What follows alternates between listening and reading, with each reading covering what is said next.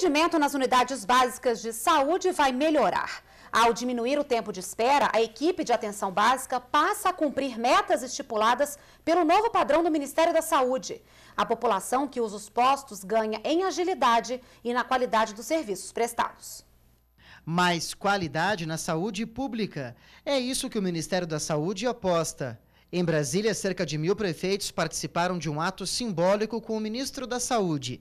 Mas a parceria do Ministério é muito maior. Abrange 71% dos municípios do país. Nestas cidades, vai ser buscada uma meta no atendimento ao público nas unidades básicas de saúde. É o que o governo está chamando de incentivo de qualidade. Em março do ano que vem, começa a avaliação das unidades básicas de saúde. Elas vão ser certificadas pelo governo, que vai medir a qualidade do serviço prestado a partir de entrevistas nos centros e postos de saúde, na casa dos usuários e pela internet.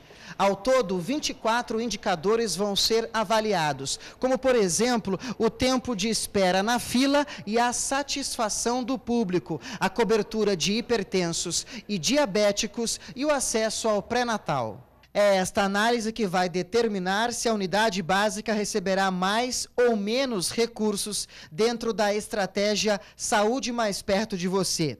A estratégia reúne cinco ações que estavam descentralizadas: os programas Academia de Saúde, Brasil Sorridente, Melhor em Casa, Consultório de Rua e Saúde da Família. Cada equipe de saúde da família vai receber um adicional por mês de R$ 1.700, o que equivale a 20% do incentivo de qualidade. Caso cumpra as metas estipuladas, este índice vai aumentando até 100%, o que equivale a R$ 8.500 por mês. Mais de 17.500 equipes de atenção básica vão receber o incentivo de qualidade.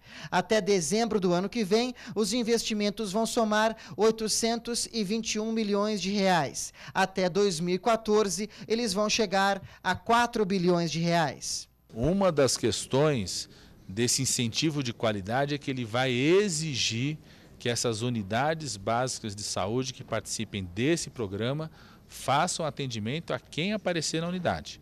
Nada de atendimento programado, com ficha pré-cadastrada, ou seja, tem um grupo de pessoas que são acompanhados de forma programada, mas a unidade tem que estar aberta a receber qualquer pessoa que a procura naquele horário normal de funcionamento dela. Os recursos para atenção básica à saúde vieram de uma economia feita pelo próprio Ministério. Nós descredenciamos nesses 10 meses mais de 4 mil equipes de saúde da família, mais de 2 mil equipes de saúde bucal, mais de 16 mil agentes comunitários de saúde por termos apertado a fiscalização. Isso gerou uma economia de quase 40 milhões de reais por mês. Esses recursos que nos permitem criar um incentivo de qualidade. O Ministério da Saúde também anunciou a reforma de quase 5.300 unidades básicas de saúde, no valor de 543 milhões de reais, além de outras 2 mil unidades que vão ser construídas no país até 2014. E pelo site do Departamento de Atenção Básica do Ministério da Saúde, os pacientes vão poder opinar sobre a qualidade dos serviços.